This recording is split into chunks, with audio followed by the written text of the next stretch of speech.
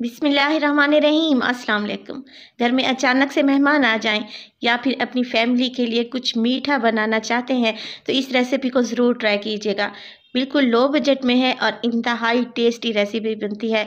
आप इसे गर्म भी सर्व कर सकते हैं और ठंडा करके खाएँगे तो ज़्यादा इंजॉय करेंगे। रेसिपी को एंड तक देखिएगा।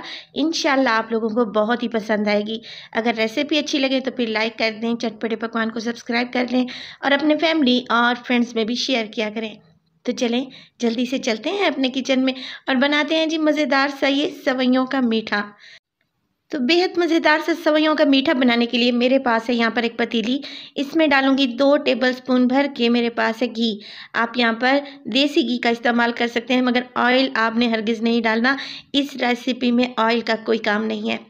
घी को हल्का सा गर्म कर लें, बिल्कुल लो फ्लेम पे। अब यहाँ पर मेरे पास है कुछ ड्राई फ्रूट्स, जिसमें है दो टेबल स्पून किशमिश, दो टेबल स्पून बादाम, थोड़े से काजू हैं और आठ से दस दाने मैंने यहाँ पर ले लिए हैं पिस्ते के। इनको चॉप कर लिया है। अब मैं इनको घी में फ्राई करूँगी। जब भी किसी नट्स को घी में फ्राई किया जाता है तो इसका टेस्ट सौ गुना बढ़ जाता है। यहाँ पर इसको फ्राई करेंगे, इतना फ्राई करेंगे 20 से 30 सेकंड के लिए कि किशमिश इसमें हल्की सी फूल जाए और बाकी के जो नट्स हैं, उन पर हल्का सा गोल्डन कलर आ जाए।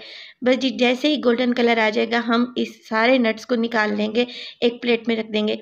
देखें पहले इस तरीके से आपने नट्स को इकट्ठा कर लेना है ताकि एक्स्ट्रा घी निकल जाए और अब एक प्लेट में निकाल कर इनको अलहदा से रख लें। इसका इस्तेमाल मैं आपको बाद में बताऊँगी। अब उसी पतीली में क्या करेंगे?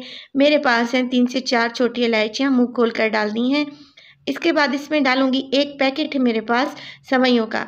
तो ये पास्ता सवैयाँ हैं, हर जगह से इजीली अवेलेबल होती हैं। छोटा पैकेट है, इसमें तकरीबन एक कप के बराबर मेरे पास है सवैयाँ सवैयाँ डाल देंगे और बिल्कुल लो फ्लेम पे इनको हम यहाँ पे फ्राई करेंगे। देखें, फ्लेम आपने यहाँ पर हाई नहीं करनी, वरना सवैयाँ कहीं से जल जाएँगी और कहीं से भून जाएँगी। तो ये हमें नहीं चाहिए। सवैयों को इक्वल सा कलर देना है, लिहाजा लो फ्लेम पे चार से पाँच मिनट के लिए आप सवैयों को मुसलसल चम्मच चलाते हुए भून लें। इससे इनका कच्चापन दूर हो जाएगा और टेस्ट भी बहुत ही अच्छा आएगा। चार से पाँच मिनट के बाद देखें हल्का हल्का सा गोल्डन कलर आने लगा है। तो बस जी, इसी स्टेज पर डाल दूँगी मैं। मेरे पास है एक लीटर दूध। मैं यहाँ पर ऑल पर इस्तेमाल कर रही हूँ। इसका बहुत ही क्रीमी टेस्ट होता है। जब भी कोई मीठा बनाए तो डब्बे वाला दूध इस्तेमाल क्या करें? इससे मीठा ज़्यादा अच्छा बनता है। अगर नहीं है अवेलेबल तो फिर आप खुला दूध भी इस्तेमाल कर सकते हैं। एक लीटर दूध के साथ मैंने एक गिलास पानी शामिल कर दिया है। अब पानी मैंने क्यों डाला है? पानी इसलिए डाला है कि सवैयाँ मोटी हैं। इनको गलने में थोड़ा सा टाइम लगेगा। पानी भाप भरकर उड़ जाएगा और हमारे पास रह जाएगा क्रीमी, मज़ेदार सा दूध। तो एक गिलास मैंने पानी शामिल कर दिया है। जैसे ही यहाँ पर दूध में बॉयल आएगा तो मैं फ्लेम को लो कर दूँगी और सवैयों को पकाऊँगी तकरीबन दस मिनट के लिए ताकि ये अच्छे से गल जाएँ। तो इनको गलने में थोड़ा सा टाइम लगेगा।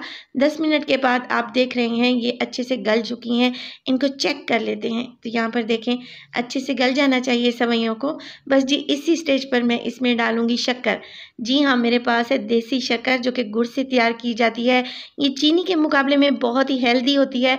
और ये सवैयों को एक ऐसा क्रीमी टेस्ट देगी जो कि आपने कभी भी नहीं खाया होगा और आप इस सवैयों की रेसिपी को बार बार बनाना चाहेंगे, ये इतनी टेस्टी बनेगी इन शक्कर डालेंगे और मज़ीद इसे चार से पाँच मिनट के लिए पकाएँगे।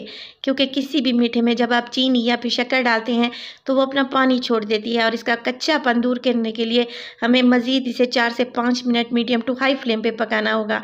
देखिए, सवैयों को इतना ही आप लोगों ने पकाना है कि इसमें दूध बच जाए। मुकम्मल तौर पर दूध को ड्राई नहीं करेंगे, क्योंकि ये सवैयाँ अपना स्टार्च छोड़ती हैं, ठंडा होने के बाद भी ये काफ़ी गाढ़ी हो जाती हैं। बस जी, इसी स्टेज पर मैं डाल दूँगी इसमें नट्स जो कि मैंने फ्राई करके रखे हुए थे। आधे डाल रही हूँ, आधे बचा लूँगी गार्निशिंग के तौर पर काम आएँगे। फ्लेम को ऑफ़ कर दें और सवैयों को रूम टेम्परेचर पे आने दें। जब ये अच्छी ठंडी हो जाएँगी तो अब हम इन्हें सर्व करेंगे। वैसे आप इन्हें गर्म भी सर्व कर सकते हैं, ऐसे भी टेस्टी लगती हैं।